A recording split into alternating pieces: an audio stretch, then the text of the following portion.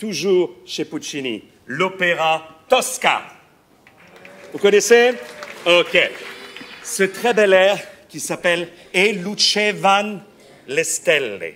Et dans cet air, le personnage de Cavaradossi, il est amoureux de Tosca. Mais malheureusement, un méchant qui s'appelle Scarpia est aussi amoureux de Tosca. Alors, dans un contexte politique, parce qu'il sauve un réfugié, etc., etc., il est condamné à mort. Il va être exécuté le matin à l'aube. Et alors, il est assis dans sa chambre de prison et il écrit cette dernière lettre d'adieu à sa bien-aimée.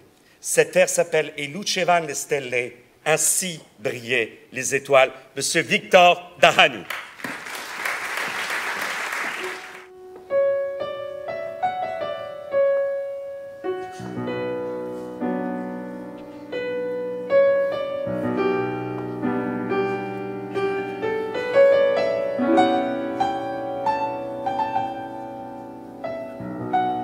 luceva le stelle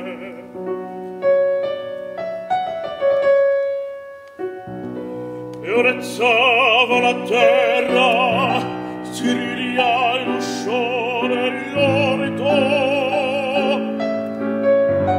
E un passo sfiorava l'arena. E tirava in la fragrante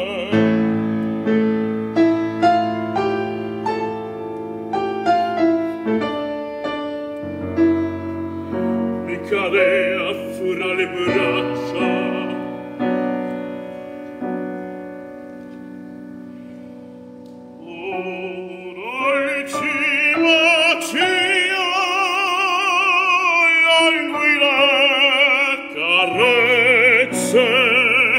Mentiri a fremende le belle corbe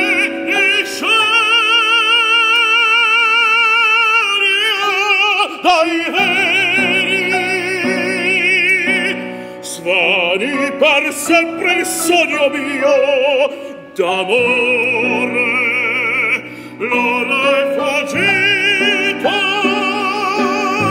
e mai l'hai disperato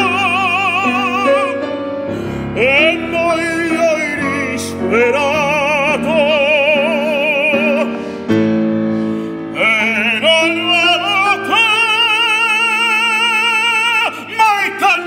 vita, tanto